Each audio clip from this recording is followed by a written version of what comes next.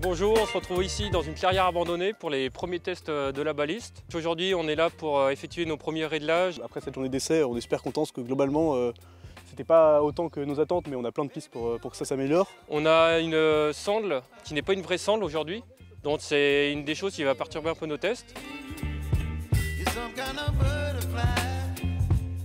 Donc on a un premier problème de sangle où la sangle va passer soit dessus, soit en dessous du boulet. Parfois elle passe sous le boulet, ce qui va soulever le boulet, parfois au-dessus. Donc euh, on, a, on, a, vraiment de, quoi faire pour, euh, pour, jouer sur la hauteur à laquelle vient taper la ceinture. On, on, a fait des premiers ajustements ici comme on peut le voir, on a relevé cette pièce métallique pour être plus proche du centre du boulet quand on va tirer.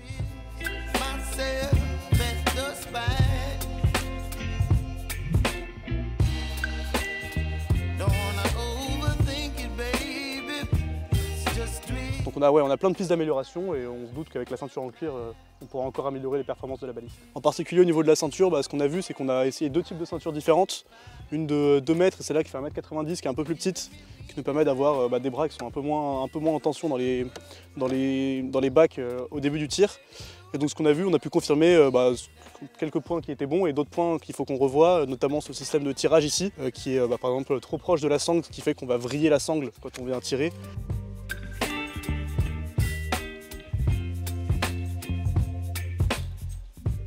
Donc on a quelques pistes d'amélioration et euh, on se doute qu'on va pouvoir faire beaucoup mieux à ce niveau-là.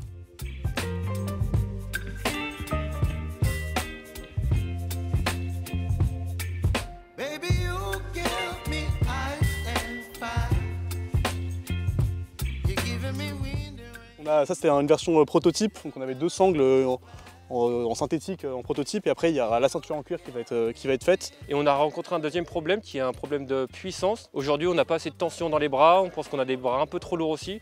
Donc c'est toutes des choses qu'on va pouvoir euh, régler dans les prochaines semaines.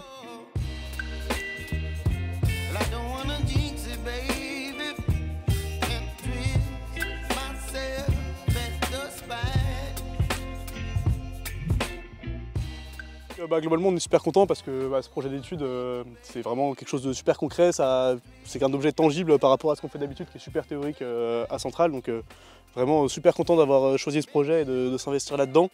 Bah, on, voit que, voit que ça avance. Quoi. Tout ce qu'on produit comme travail a des répercussions directes sur l'objet final. Et c'est vraiment chouette de se dire qu'on a un projet qui regroupe autant de monde et qui nous permet de, de concrétiser un peu nos apprentissages. whip up my appetite. Don't leave me here.